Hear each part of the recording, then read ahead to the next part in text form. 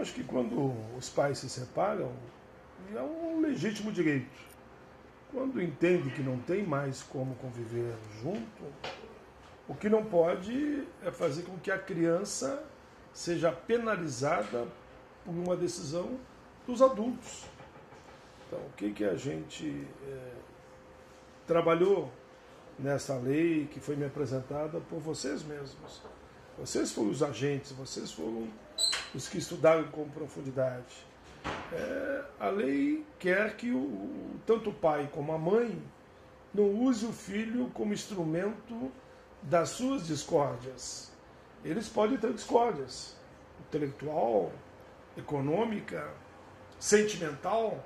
Agora, usar o filho como uma chantagem para a mãe ou para o pai tirar dividendos para si, eu diria que é quase um crime de honra é uma irresponsabilidade total, é uma covardia, porque aquela criança que está ali, ela não tem como se defender.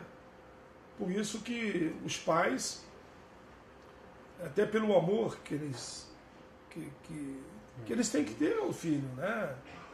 Qual é o pai que não ama o seu filho ou sua filha, né?